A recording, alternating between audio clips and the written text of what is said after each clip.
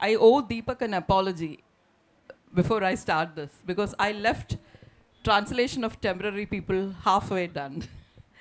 and uh, Benjamin has spoken a little of it, and I should complete his narrative by saying what was lacked in me was the experience of diaspora. In my diaspora experience is limited to my staying in the hostel away from home. So obviously my experience was not deep enough to comprehend much of what I uh, met in the book. So obviously Benjamin was the best person, and I'm very curious to see what he has done to this narrative. I still have my uh, copy with me, whatever I did of it. I haven't thrown it away, but I'd like to see what Benjamin has done better about this. So, uh, to you first, of course. When we are talking about chroniclers, that word chronicle is itself a deep word. It involves a lot of, um, again, experience, observation, and actual living in the skin of it. So like uh, Jhumpa Lahiri is spoken of as a third generation diaspora and you've been spoken of by Benjamin as a second generation diaspora. How has your experience been the core of starting this book? Because people have always been writing about experiences which are not actually theirs and being successful. And you are being super successful with an experience that is totally yours. It is actually a little above. നമ്മൾ മലയാളത്തിൽ പറയുന്ന പോലെ അതുക്കും മേലെ Your- that's that sort of a book. So I am remembering uh, much of it right now sitting here. So please. I, I don't think you owe me an apology. in fact, I think it takes a lot of guts to actually tell someone, I think I can't continue. So I'm quite grateful. Um, because I think, uh, now let me try and answer the question. Um, so I'm the third generation to live in the Gulf. So Muttachavudandairnu for a couple of years. He died there. But now to the crux of what you're asking me. Look, um, we were having dinner last night and my publisher was there, uh, Karthika VK.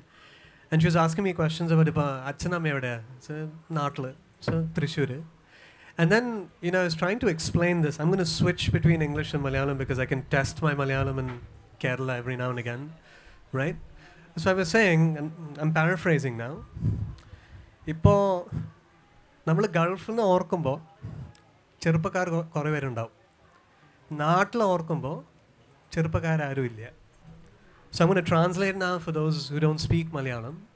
So in the Gulf, you find the young. And in places like the cities my parents come from, you find the elderly. So there's that gap. So to put it in Malayalam again, or a gap on the in-betweenness. So when I was younger, we tried to figure that out. Because Natla, like here in Kerala, there's this expectation or anticipation of what the Gulf Malayali is, the NRI, so for the most part വീടുണ്ടോ? Do you have the house ആ. കുട്ടികളോ? Children ആ. എന്താ ചെയ്യണം അവർ ഒടി the doing doctor lawyer banker ആ. So you checking off a bunch of things because you have to objectify your experience but the other stuff what you do when you don't get any of these things ഇതൊന്നും കിട്ടിയില്ലെങ്കിൽ പിന്നെ എന്താ ചെയ്യാൻ പോണേ? We don't have a conversation about that. In my own family, we don't talk about this. So when people say I'm the chronicler, it's a little bit embarrassing because there are many names. Not just me, not just Benjamin. You know, Sabin is right here as well. There are others. And I think the problem I have is in Kerala, there's this one-sided expectation of what the Gulf Malayali is supposed to be. Uh, and that didn't sit very well with me. Uh, and you know, uh, you're very generous in how you position the book, uh, saying that it went beyond what it was supposed to do. Um, I think that's an exaggeration to a point because if it did that, this would be a crowded house. Like people, like it would be like you're trying to get into see Tovino Thomas or you know Dulquer Salmaan, and they're like, "Ara ara, Deepakana, okay, we'll, they'll all come." But that's that's not the case here. And I think part of the problem is, um, for me, the book is about language. It's not necessarily just about migration. Like what happens to a language when you infuse Malayalam with English, with some Hindi, some Urdu, which are languages I grew up hearing, Arabic as well. What do you do to the book itself when you do that? Karim, I didn't know what I was doing. Like, I can pretend all I want saying that I knew exactly how the book was supposed to function, but I didn't. I'm not trained in literature. I teach literature for a living. Uh, and I'll stop talking now because the main issue is when you teach for a living, you like the sound of your own voice. Um, so I guess what I'm trying to say is when you say chronicler, I'm thinking about what that means on a base level. If I Like when I sit with my parents to eat, we don't talk about the Gulf. Like it doesn't come up in conversation. Like there's a lot of silence. So I don't even know how to ask my own father, Acha what happened? So when Sabin translated, so it's interesting he's sitting right next to me. So Mathrubhumi, to their detriment, put me on the cover of Mathrubhumi Weekly a few years ago thinking I am the next big thing. Really sorry, because this is being recorded. I'm not. But Sabin translated that interview. It was around seven to eight pages long. And so when he sent it to me in Malayalam, I can't read Malayalam by the way, I can only read English. I can speak it fairly well. I asked Acha, Acha no okay. So can you please read it? I said, and I said, why? I said, just so that I know he hasn't messed up. He didn't mess up. So this is what he did. He was sitting right next to me, my own father, and he starts reading it out loud. And then he's embarrassed and I'm embarrassed. Because I'm talking about stuff that we don't talk about as a family. Silence. Exactly. So what Achan did was, ഞാൻ ഒരു കാര്യം ചെയ്യാം phone എടുത്തിട്ട് ബെഡ്റൂമിൽ പോയിട്ട് ഞാൻ വായിക്കാം record ചെയ്യാം തിരിച്ചു വരാം നീ ഒന്ന് കേട്ട് നോക്ക് so I take it record it come back to you give it to you you listen to it that is the only time in my family that my father knew that I knew and my mother knew that I knew and I owe that to Sabin. So we needed a third party interference to sort of figure out how do you open the conversation. So that's that's what I've got. Before coming to the others, I think I should ask you one more question, Deepak. Karthika has uh, mentioned that um, although your book has been discussed much here, it hasn't been, you know, really re- documented on how you chose these stories and why you chose these stories, how you came about to write these stories. I think you should uh, speak up a bit about this. Uh, So I'm going to talk about race and class. So most of you may presume you know what the Gulf is. So the Gulf is very brutal in its hierarchy. So right on top is the Khaliji or the Emirati, like the person who's the local. Underneath the Emirati, you have the Arabic speakers to a certain degree, but depending on where they come from, they get treated differently.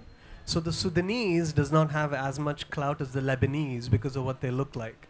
Even Above them sit the Americans and the Brits.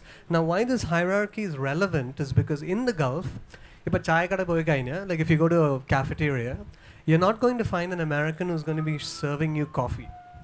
You'll be finding someone from Malappuram. Ah, not Naatlavadaya. And then you start a conversation, Uri Naadat, then a samosa. You're not going to have this conversation with an American. So basically, what this means is professions are relegated by nationality. So I grew up in an environment where I just presumed Malayalis only work in cafeterias.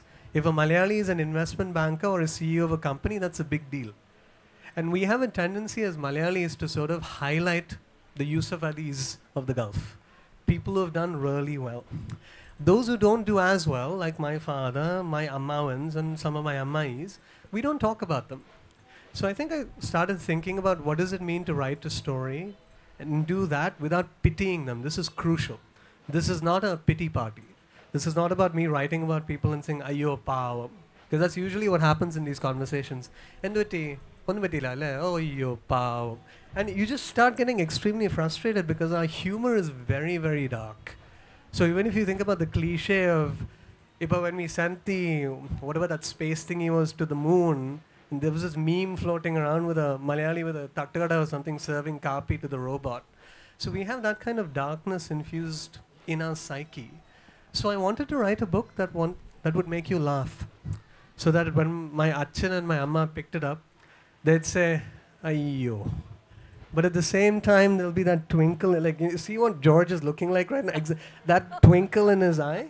That's that's what i wanted. So i think at the end of the day i wanted to write a book that was mine അപ്പോൾ ഇത് വായിച്ചു കഴിഞ്ഞാൽ you know this cannot be written by sabin or benjamin or george it's written by someone else so you need to ask why And I think that was fundamental to why, uh, how I approach work. So I wrote the book, and you should ask four questions to two of them after I stop because I've talked for a while.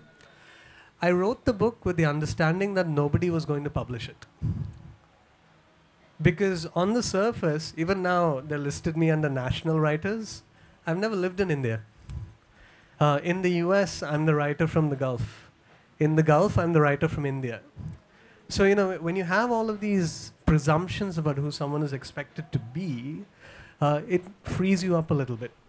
Because in my head, I'm going to publish it. No one's going to publish it. So I wanted to write whatever I wanted so that I kept my dignity, which is something we don't talk about here as well. Like, what does it mean to compromise your dignity when you work in the Gulf? Not from an extreme angle, but from a very different kind of angle. Karim, പോകുമ്പോൾ you're young, for the most part. My father left in the 70s. തിരിച്ചു വരുമ്പോൾ you're like in your mid 70s or in your 60s, you're older. And the state doesn't want you anymore unless you have the mansion or whatnot. But that that'll be a rant which I don't want to get into. But that's why I just wanted to write something that made me smile, and at the same time it was honest enough where I could sit with it and go, I gave it everything. That's probably why I'm a one book wonder, peaked early, uh, and Mathrubhumi is sort of regretting putting me on the cover. But Harper Lee is still around. One book wonder. Yeah, yeah. I mean, I mean, the final thing I'll say is, thank God for people who are willing to take risks. Thank God for people who care. I mean, there's Benjamin, there's Karthika VK, but there's also Karthika Nair, Swaroop, even George. Because I just walked up to him in France and said, "Hey," because I did the illustrations myself. Terrible. I said, "I need some help," and he said, "Chia." So just the gesture of someone saying, "Let me do this," because I'm interested to do this, uh, is quite sobering. It's also extremely humbling. It's not normative for me. Uh, acts of kindness, which we don't talk about at literary festivals. What does it mean to be a writer? For the most part, you need someone to be kind to you. In my case, you needed a village, really. Tell us about how your chronicling has been. About these temporary people. You Yeah. have a lot of temporary people in your Hala Hala world. Oh yeah. Yes. So talk about the Hala Hala world first and then the temporary people. He is a graphic artist basically. And his graphic novel is one of the wonders I have read in my life. Thank you. It's a Suneetha. beautiful book. It's a series. Suneetha wrote a great review on it also. Uh, Hold it so- closer.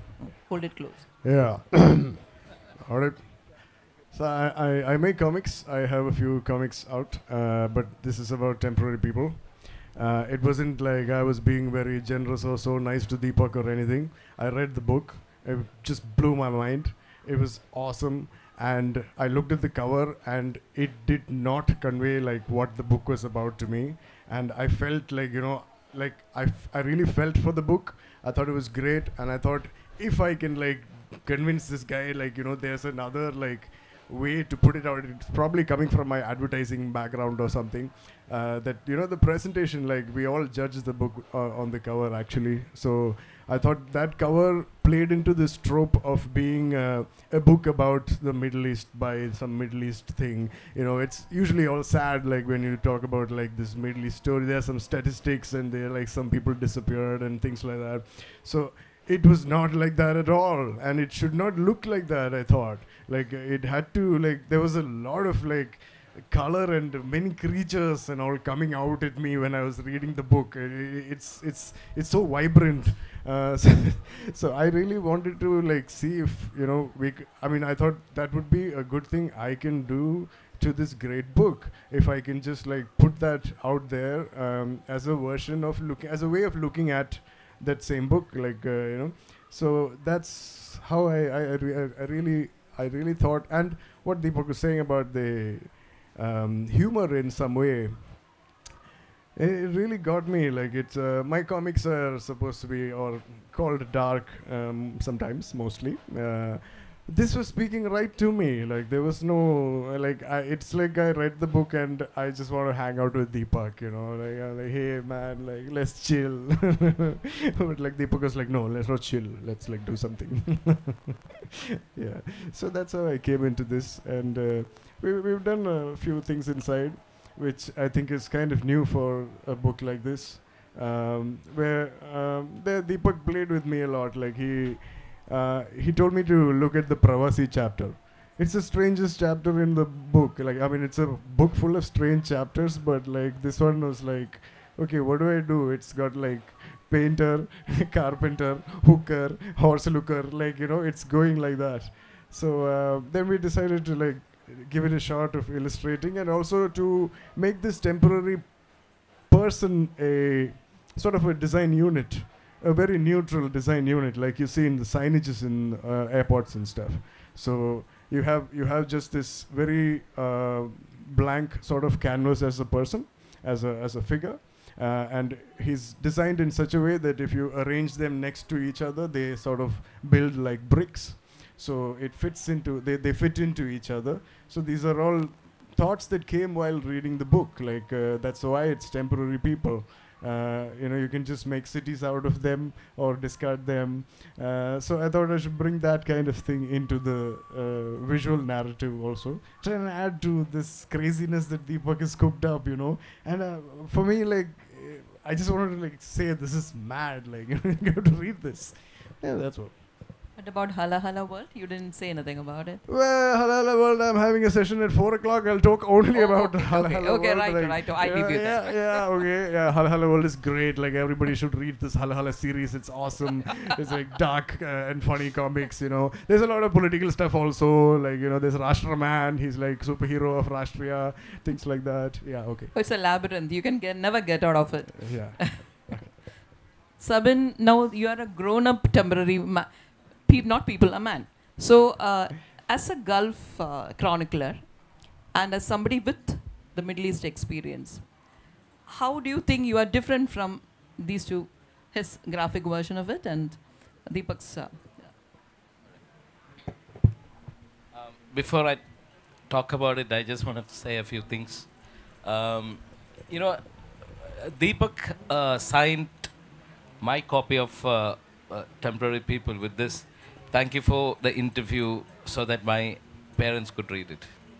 You know, that's what you, I don't know, you remember, but, you know, I said, when I read The Temporary People, it really, you know, it, it really captivated me. And at that time, I was writing Shamal Days, my own little book, no one has read.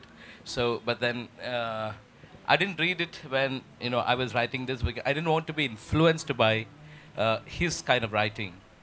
Um, mine is entirely different, and uh, uh, um, has blurbed it. I don't know whether he's read it, but. Uh, mm, so so as uh, Benjamin. So so now uh, I I'm a child of uh, Gulf. My father left to the Gulf in '75. Um, for me, my father was an annual warmth, a warmth that used to come to us every year. Then after you know numbered 30 days, he would go back, and he never wanted me to go. But in this book, I have written about sons meeting fathers under an acrimonious sun. Their shadows merge. You know, this is a different take on an entirely different world that Deepak. But I'm quite familiar with the streets that Deepak has. I lived there for 15 years, so uh, uh, so all the Jawazat Road, Passport Road, and you know, it's all familiar to me. So when I was reading Temporary People, and the that that Pravasi chapter, you say foreman. One, you know, it's, it's a very beautiful, very very innovative chapter where there's nothing but the names of uh, the the the people who work like you know foreman. I know so many form men working in the in the lab. That that that connect me to my memory, my experience of carpentry, or, or, or you know uh, those who work at the uh, sites. So that's that's. That's how it connected. But then, but th- let me talk about Shamal uh, days. So this has gone into the lock, lock lockdown period. You know, so I had so much of hope in this novel, but the COVID came, and so many uh, hopes are dashed. My novel also got into the lockdown period. But in this, my protagonist is uh, is is a is an editor. Uh, so they sat in a, newspaper room. There there are Suda- Sudanese, Somalis, Russians, uh, Chinese. I've uh, and and a lot of Europeans and and working under uh, Indians and Pakistanis and Bangladesh working under an English editor. So this is my world of the the the temporary people. And in, interestingly, I dedicated the book to for the generations of temporary people in the Arabian Gulf. Thank you, Uni, for giving me that, you know, that coin. There's a lot of sadness in the book in temporary people. No, but it's not that visible, but it is sad. But I think that sadness of uh, Pravasi life has been handled differently by Deepak and Sabin. And I haven't really seen those illustrations, so I cannot play, place a comment on it. so, c- can you talk about that? How did you cover that sadness? How did you make that sadness uh, bloom out in your words? Both of you. No, my book, someone wrote this is this cannot be read. It's so so sad and so you know uh, depressing book. You know, I've I've read that in some of the major dailies. They said this is a very sad book. Can't read it. You know, but then yeah, the way you put it. See, Gulf people in the in the Gulf. Uh, I always say there's the most unique expatriate community in the entire world. They can own anything. I mean, I know how many generations they lived you know, they, you, you just have something, a sad box tucked under your, your bed. You have to leave any time. That kind of a temporariness, the permanence of temporariness. That's what, that is what I've lived for 15 years there. I had to come back. My father came back with three boxes of books and cancer in his lungs. He went there to make money, he couldn't make any. You know, there are so many stories out there. You know, so yes, I put out the you know people were like, you know, this book is a deep character study of Abbas. He's lonely. He's he's he's he's, he's got no one in his life.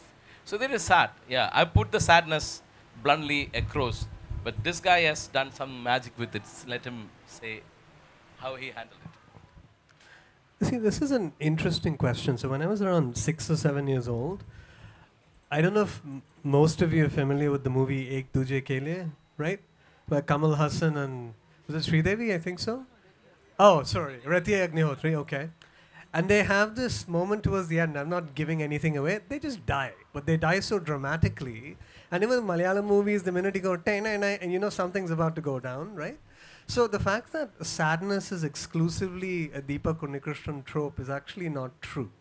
There's also this thing about nuance when you think about sadness, and I'll give you a very specific example. And before I do that, I have a student who's actually studying Shamal Days. We've, we've read it. Um, there's also Yasin Kakande, who's a Ugandan journalist who was deported from the Gulf, uh, who has a um, memoir. It's called An Ambitious Struggle. And I don't think a lot of it is about sadness. I think it's about the hustle. And here's the example. There's a gentleman whose name is Rafiq Ravutar. He used to have a show called Pravasi Lokam. And there's this one story that he recited to my students that I absolutely adore. So there was a family where the husband went missing in action somewhere in Europe, I think, not necessarily the Gulf. So he was hunting for this guy. That's what the whole show was about. So if people couldn't trace their family members, Rafi could kick into gear and he'll find them. He found the guy, returned him to Kerala. They had this huge party and everything. And towards the end, the wife sort of asks Rafiq, and you know, if this was a film, we'll go, "Psst, tsk, tsk, you know, come here, let's have a conversation. And he bas- she basically said, thank you. Now can you take them back? So when you think about, you know, what sadness is, you have the surface level skim of what everyone expects the situation to be, and then you have the nuances in play. Uh, and for me, I think the nuances are actually quite relevant. Like take, I mentioned houses before. My parents are from Thrissur. We love big houses. Like, um, I think it's one of the jewelry guys, the Alukkas dude. This is recorded, right? Yeah, okay, the Alukkas dude, who has a mansion that's actually called Mansion uh, in Thrissur. Like, they have it in bold letters. It's as though you don't know what a mansion looks like. So, just in case you missed it, I'm going to tell you it's a mansion. For me, this is hilarious at the end of the day. But now back to Sadless. We also have houses in Thrissur that are huge. They're like colossal bungalows and whatnot, but they're also empty. So in my head, I'm sort of going, if they have dogs, and apparently in Kerala you like breeds, like if it's a German Shepherd or a Nadambatti Argustella, they want like the Doberman or the, you know, the great breeds. These guys can sort of get themselves into the house and have their way with the world. But this is how I think. but at the same time, to answer the question seriously, I think for me, sadness is an evolved emotion. It takes stages. When my grandfather died in Abu Dhabi, it was a sad moment. He died in 83. But when they shipped his body back, they also shipped the Toyota Corolla with him, which I find ridiculous. It's quite bizarre. Like, Toyota So, you know, uh, grandpa's gone, but we have the Toyota, which in the 80s was a big deal. So, when you think about these decisions that people make and then how they sort of figure their way out with the world, I think about those things. So, but even as I'm growing older, like right now, me, and I'll end with this, I'm considered to be the elder in the Gulf. That's bizarre. Like for someone who's in his early 40s, for people to look at me and going, there goes the wise old Unnikrishnan. You, you need to have a conversation with him and he'll tell you what the Gulf was like. And that's me making a joke. But now let me get serious. It's also about the policy. You can't find a 75 year old man wandering around playing cards or drinking karlu with his 75 year old buddies because the policy does not permit that. They have to leave. They have to be returned, so to speak, unless you're rich. So, being rich gives you access. We celebrate Yusuf Ali for a reason because it's easy to celebrate him. So, I think for me, you know, at the end of the day, is I think sadness is also a valid emotion, but the validity is based on what your context is. My context is about ensuring that I am not my father. I do not want to stay in the Gulf with family members dying and not being able to go see them. I don't want to do that anymore. But even as I say this, and Sabin should go, I know it's a privileged uh, performance that I'm sort of putting on here because my document has changed. I'm no longer Indian, I'm American, which means that I could land up almost anywhere that I haven't bombed as a country and expect people to sort of say, come on, Yankee, whatever. Which is not the case when you're Indian, you know, and we found that out during COVID, especially, where the system, the hierarchical system, was very clear. So I think for me, at the end of the day, more, more than sadness, it's about something very fundamental. That if I'm of a very different generation, my generation is not interested in gratitude. My parents' generation was all about gratitude. Ah, Abu Dhabi, you know, we have so much to love about the place. കാര്യം നമുക്ക് ഒന്നും കിട്ടില്ല എവിടെ ഇല്ലെങ്കിൽ you know, we won't get anything if you're not here. And I'm like, that doesn't make any sense. So for me, it's about engaging with the city with the foundation in being able to be honest. Because I think honesty gets taken away from you when you're in a place like the Gulf. Uh, Suneetha, I'll take the liberty to read two paragraphs because uh, I was about to ask you know, to do it's that. about the Yeah, fathers and sons, and if you uh, these old men, see the when you go to the Corniche, you you have you have uh, you can see all kinds of people sitting by the Corniche, which is a you know uh, how do you put it? Corniche is Corniche, right? Huh? Okay. Yeah.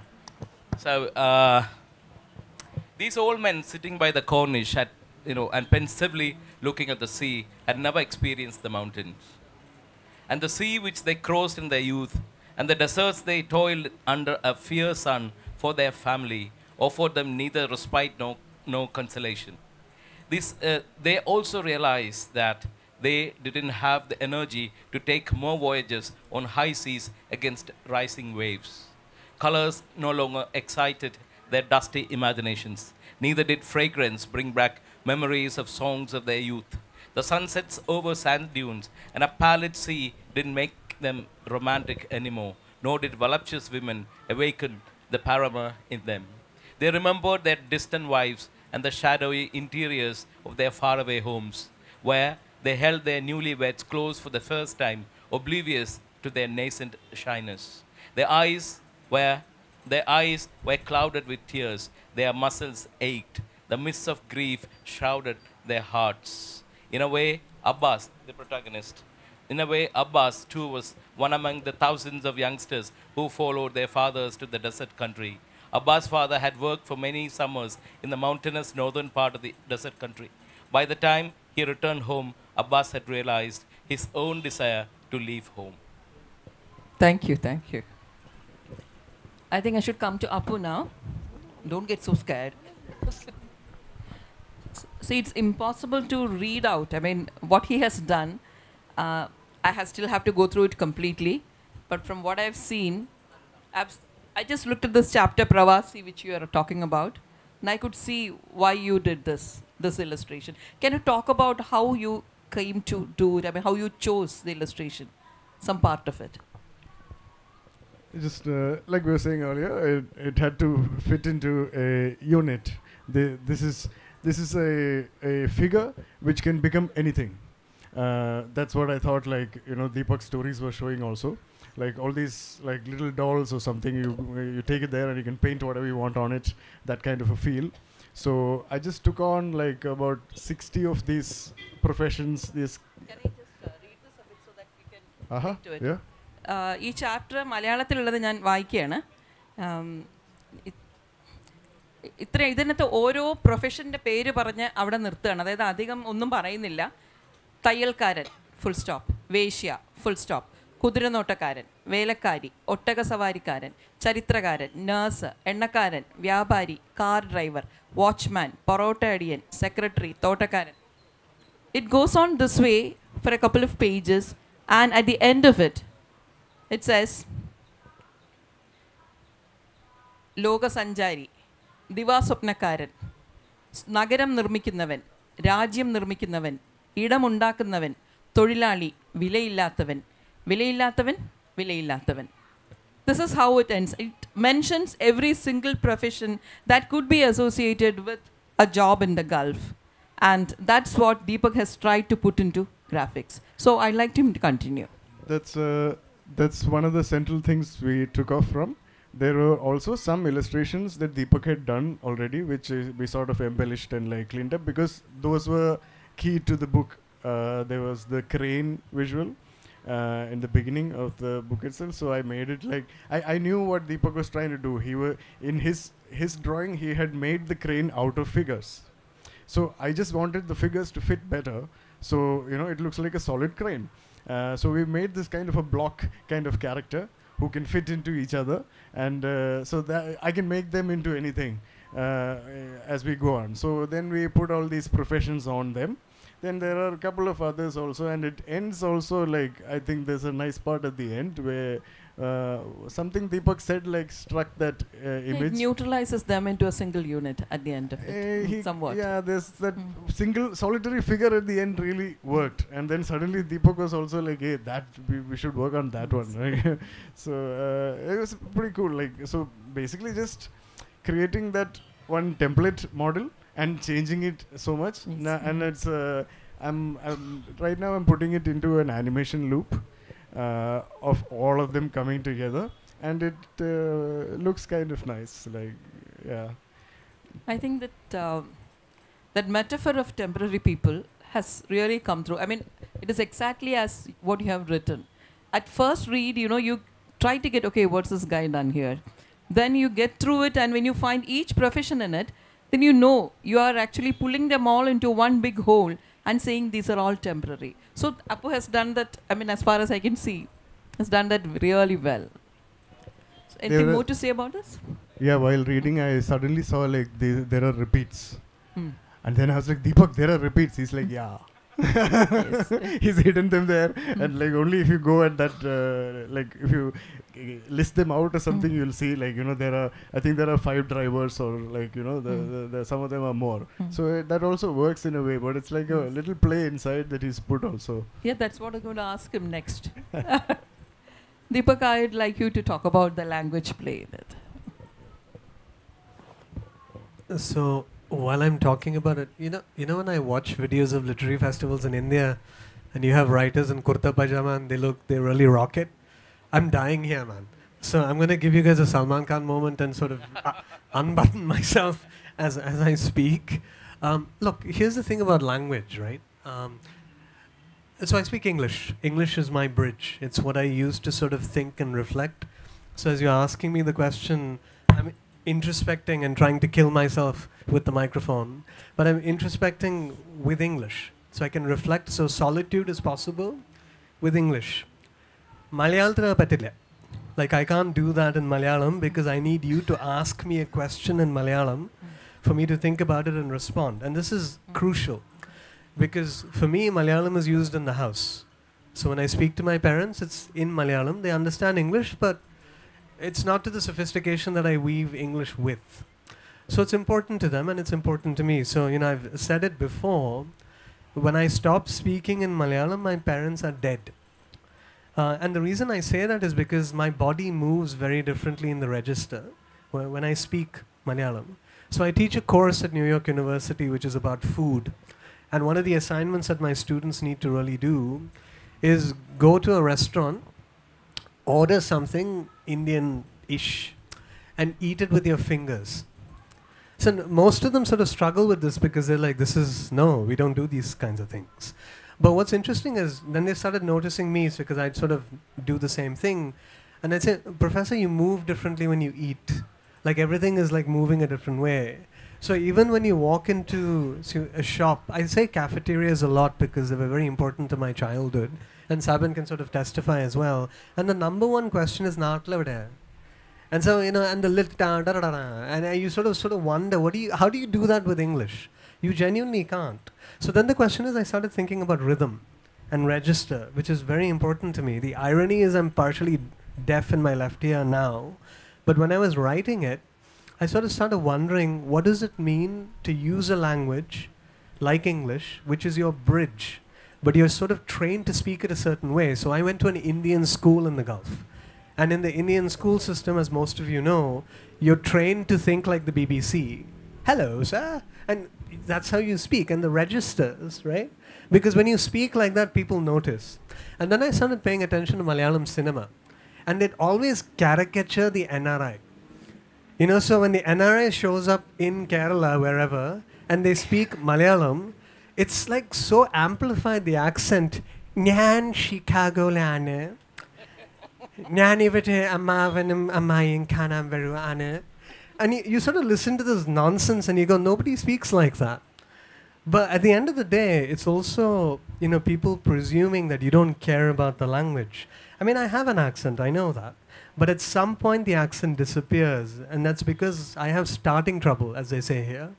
So you start with English, and then you have to switch. Switch in is samayate, you know, like your ignition sort of goes that way. And then at some point, the body changes. so when I'm with my Ammavan and my Ammais, we don't speak in English, we have to speak in Malayalam, right? They don't make fun of me because they understand that the single objective here is communication. That you just want to know if you're okay, and at the same time they, they'll tell me, നീ പറയുന്നത് എനിക്ക് ഒന്നും മനസ്സിലാവുന്നില്ല അപ്പോൾ കുഴപ്പമില്ല നീ ഒന്ന് പ- പറഞ്ഞേക്ക് like I don't really understand what you're saying but keep talking because my references are different right So I started thinking about languages exactly that. And my Hindi is pretty good, but the problem now is you switch from English to Malayalam to Hindi, and the brain goes into overdrive, and they don't know, Are bhai, kya kar tu? And you, you don't know what to do now. And then I also speak Urdu and I understand it. But again, there's starting trouble. So because English is the bridge, and I had to learn Arabic when I was younger, I sort of started wondering, what do you do if you put everything into a little bit of a sambar like situation.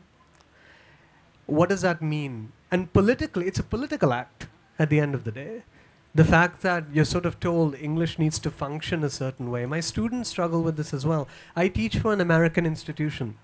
When they show up, if they're Malayali, for instance, they sound like cousins of mine. They're fluent. But in their fourth year, they're as American as it gets, man. And you sort of wonder, what happened to you? But it's not a diss because it's also self preservation because you want to fit in. There's this thing about assimilation, which is why going back to the Malayali portrayal of what it means to be an NRI, I don't think we're performing the accent all the time. But I think the problem here, when I did a festival a few years ago, I love Kerala, by the way, but my God, this place is difficult. Because someone said at the Q&A, can you say something in Malayalam? So yeah, so so in my head I'm going മലയാളത്തിൽ ഇപ്പോൾ സംസാരിക്കണേ എന്താ ചെയ്യാൻ പോണേ ഇപ്പോൾ so I don't know what to, so my head is now into overdrive because it's like you're in CBSE school and someone is saying say പാത്രം ഏ എന്ന് പറഞ്ഞേക്ക് പാത്രം and you sort of wonder you're be, because you're put on display, right? You're performing your Malayaliness. And you sort of wonder why. Because my experience is about being a child who had to understand transience in such a manner that you couldn't claim anything. You couldn't claim the city you were from. You couldn't claim the country you were from. Nobody was interested in you. So you're doing your best to count. And I think at the end of the day, and I'll stop now because it is about language, I think the musicality is important to me. So I don't move like a puppet when I land in Kerala because I want to fit in. I move like a puppet because my father is like that. So I'm mimicking my achan in many ways. But at the same time, I also realize that there's an incompleteness that I can't fix. So the Malayaliness is only present when I write and when I speak, N- not anywhere else. Is that a case of temporary people also? Allah, not at all. I, I don't. I said, look, when I was, I wrote the book when I was young. When you're young, you think you're important, and when you're young, you think your story really counts. I think temporariness, in some ways, is a little bit of a privilege, because you know how to sort of plug and play in different situations. But at the same time, I think the issue is, you have to think about your context. I make more money in one month than my father ever saved in 45 years. So I think about race and class quite a bit. Like it's not a boast, it's just an unfortunate truth. So then you think about, all right, what does temporariness mean? It's easier to talk about it in a highfalutin language when you're young. When you age, there's this desperation that sets in because you want to make sure when you leave, you're not lonely. And it's not just about sadness. I think it's about you want to meet someone like Sabin and, and not give him the history of the Gulf. You just want to plug and play the conversation. Sabin, you lived in the Gulf? And then we know. So it's like a, there's a code in there. So I, I guess I, I do want the takeaway to be if you get the book. Um, by the way, he's got a dope ass book coming out, George. So you need to attend that session at 4. It's important. But the thing is, when you read me, I don't want you to pity me. I don't want you to pity my family. I don't want you to pity various generations. When you read me, I need you to understand I'm from Abu Dhabi. And there's a very special significance to that statement. I'm not ashamed of it, embarrassed of it. I had no control of it. So at the end of the day, I write to be read. It's a very narcissistic act for me. You know, so when you have people, I don't know most of you except five of you, and you're listening to me, bloody hell, man, it's a privilege. But I don't want you thinking that I write like the others. I want to stand out. So George is part of this because I wanted the book in Malayalam to land. Uh, and, you know, I think that's what it is at the end of the day. You speak a language because you want to be heard. You also speak a language because you want to move and sound a certain way. Thank you, Deepak. That's very clear. uh, Sabin, you want to add something to it? Yeah, I want to chip in the other side of uh, what Deepak has said of temporariness. He's, he's seeing it from, you know, from, from the other side of the Arabian Sea. But here, I come from a, uh, the town which is a Gulf pocket. You know, we see people, they say, "Ennu vannu? When did you come? Next question. Ennu? When are you leaving? So we, I have grown up between these two questions. Ennu vannu, ennu povum? All my cousins, you know, you come to Varkala, see, there's not even one house where there is not even uh, someone working in the Gulf. You know, you you become 18, you got a passport, you're not doing well here. ചവിട്ടി വിട്ടേക്ക് കയറ്റി വിട്ടേക്ക് you know കയറ്റി വിട്ടേക്ക് അതിൻ്റെ that usage is very very very you know important കയറ്റി വിട് കയറ്റി വിട് where to Dispatch where? sort of thing. Hmm? Dispatch him. dispatch or you know it's like cargo you know so so that is my my my feeling of i grew up like a as i told you i don't want to repeat annual warmth for me my father was an annual warmth i uh, he used to write letters long letters to me when i was growing up. He used to draw he used to uh, draw well. And you know he used to teach me present tense and past tense and all that. My forthcoming book i don't want to give it away but that, that is the chapter. When when my father the, the father figure dies the english teacher dies. You know when father died simple past you know that's that is going to come out later this year so but you know i don't think and hope uh, george is doing the cover. Ah, sorry uh, So, Apu, do you want to rap? Uh, no, I, I'll sing like. uh, I know you have another session, but we want to wrap this. Please no. add. I think um, you were talking about sadness earlier. Yes. Uh, I was thinking, You don't look See, sad enough. yeah, I'm not like. see, there is sadness. Like we don't have to look for it, or we don't like. There are there, there are ways in which you see it or take it. Like there are like sometimes I'm conscious about like uh, how we portray it in our movies, for example. Like if it's a cheap movie, like you know they're always like crying all over the place. Uh, if it's a Tamil movie, they always like uh, exaggerate a little more. We used to exaggerate a lot more in theater. So I think I like the way in which this is being dealt with in this book. Uh, it's a very nuanced take on it. That's what I liked and that's what I related to because even in comics and all, what we're trying to do, or we're trying to hone that voice, like how to, how to like put this world in perspective. Uh, there is sadness in it when you put it in perspective, but our job is not to dwell on that.